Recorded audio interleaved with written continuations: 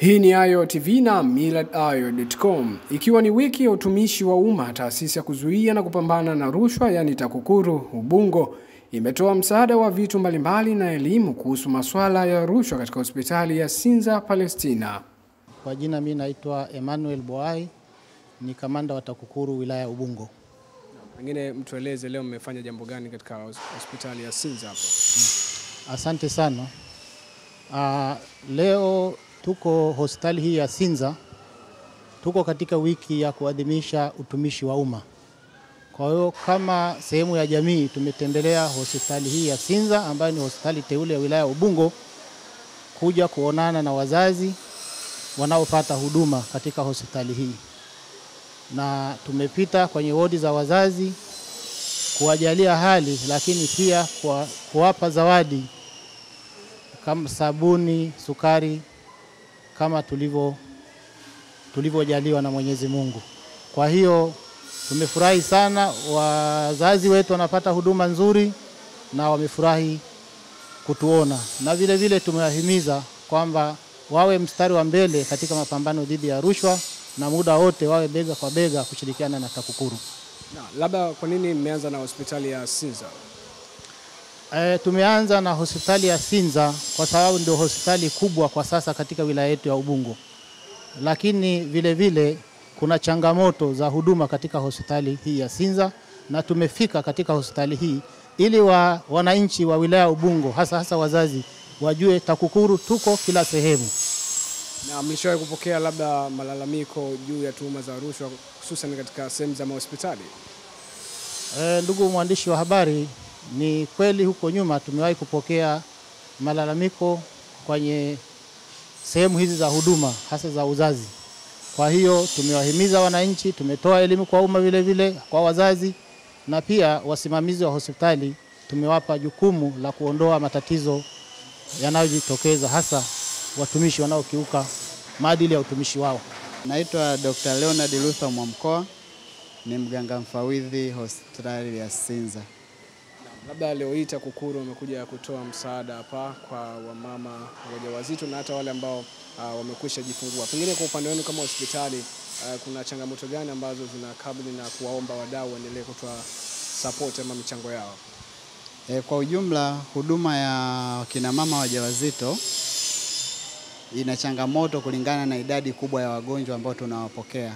Kwa hiyo uhitaji wa msaada kama huu tuliopokea leo ni mkubwa kulingana na idadi ya wagonjwa tunaohudumia. E, kwa upande wa hospitali ya Sinza tunawakaribisha tunawakaribisha ili waweze kuongeza nguvu ambayo ipo, kwa sababu huduma ipo inaendelea, lakini vile vile tukipata misaada kama hiyo itazidi kuimarisha huduma iwe bora zaidi. Mbali ya huduma ama msaada ambao umetolewa na TAKUKURU, pia kuna swala zima la mambo ya rushwa. Kwa upande wa hospitali ya Sinza hali ikoje, na pengine unaweza ukatoa neno gani?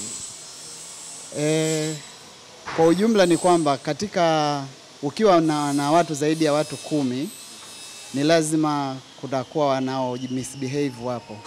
Kwa hiyo wapo watumishi ambao wana tabia kama hizo, lakini kulingana na miongozo ya utumishi wa umma huwa wakipatikana wanashughulikiwa kulingana na miongozo inavyoelekeza, na tunazidi kuelimishana ili kuondoa tatizo hilo, na si kwamba ni watumishi wote ambao wanafanya tabia kama hizo, ni watumishi wachache ambao wanaweka doa katika utumishi wa umma.